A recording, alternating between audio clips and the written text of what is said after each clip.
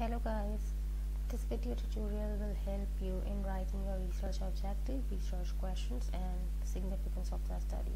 So before writing the research objective, research question, significance of the study, I would like to show you the research model of this study. You can see that few of the variables are impacting purchase intention for energy efficient household appliances. So basically while writing the research objective of the study, you have to see your dependent variable are you going to determine? Basically dependent variable is the variable that you are basically trying to identify.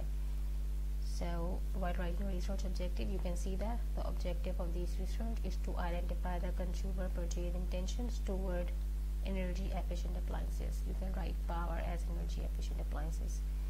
And the research question would be like this.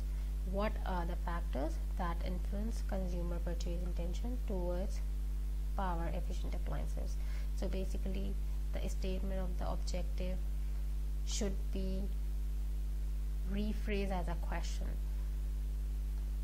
You can say WH questions what and how question. So you can see over here that what are the factors and what about the significance? So basically significance of the study means you have to highlight the importance of that particular study. You have to explain that how this study is beneficial. So if you can see it over here this study will provide insights to the marketers and the environmentalists.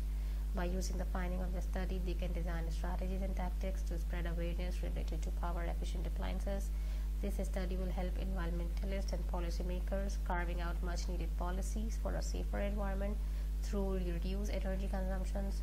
Finding also help the energy appliances companies to develop effective strategies that motivate the consumer to purchase energy saving household appliances Moreover, marketers may also benefit from this study as it offers them new insights related to energy smart products and the factors that shape the purchase intention of such products. What you have to do is you have to mention a paragraph related to the importance of the study that how this study will be beneficial for the industry and for the brands or for the policymakers. I hope this will help you in making your objectives and questions and significance of the study effectively. Thank you so much.